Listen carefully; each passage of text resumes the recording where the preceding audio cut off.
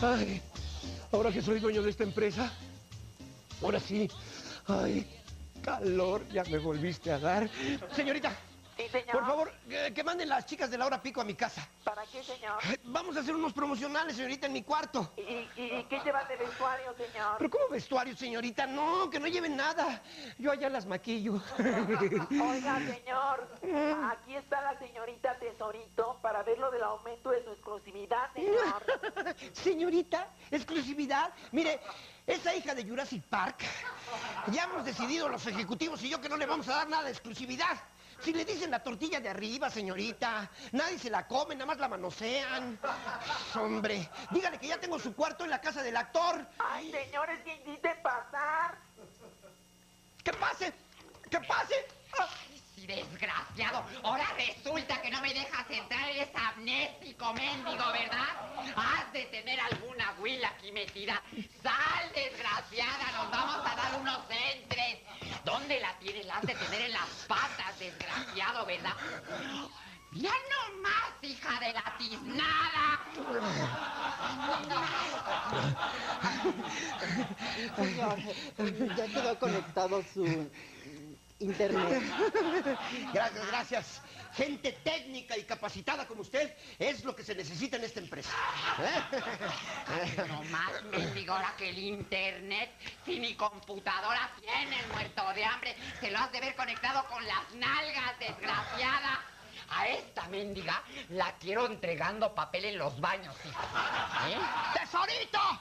¡Céntrate! ¡Ubícate! Lo tuyo y lo mío terminó hace tres telenovelas de Milo La Rosa, por favor, hombre. Ay, ¡Ya! Te quiero decir algo, hijo. ¿Qué? Espérate, papito.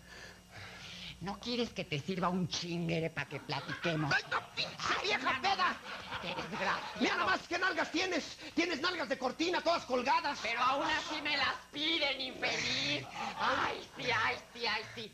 Pero aún así, por eso, hijo, voy a romper el silencio, hijo. Ah, caray. Vieras, hijo, me quieren quitar mi programa, hijo. Me quieren quitar mi exclusividad.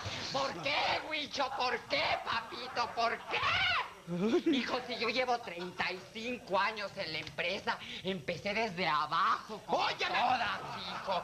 ¿Por qué, papito? Mira, empecé haciendo chapitas con las chavas de maquillaje. Y luego haciendo chapitas con las chavas de maquillaje. Y luego le cargaba el neceser a Chía Méndez en mundos opuestos, papito.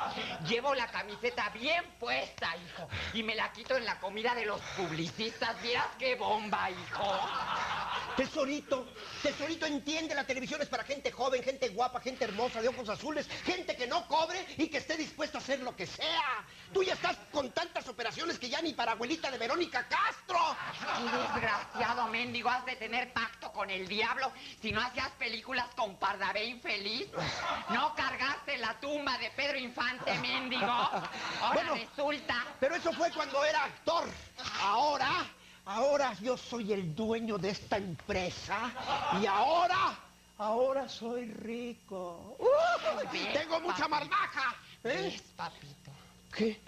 ¿Qué? ¿Qué? Ya lo tienes muy guango, hijo. Ya ni voy sobre eso, papito. Hijo, acuérdate cuando te entregué lo mejor de mis nalgas antes de que te las acabaras, hijo. ¿No te acuerdas de esas pedas que nos poníamos en Acapulco? Momento, papito? momento, momento, momento. ¡Momento! Pedas, jodidas. Yo estaba indispuesta. ¿eh? Y además ya no llores, ya no llores que te arrugas. No vas a servir ni para monstruos de Plaza Sésamo, por favor, hombre, ya. Pero para que veas que soy benévolo, para que veas que soy buena gente, para que veas que todavía tengo corazón, te voy a dar un papel. Mira, con que no me des el papel para limpiarme porque te madreo, Huicho. Ya te lo hice en el premio mayor, hijo. Ya No, sabes hombre, que espérate, duro, hijo. espérate, espérate, Ya espérate, sabes que te espérate. friego. Te voy a dar un papel. Vas a entrar. Vas a ser la criada muda.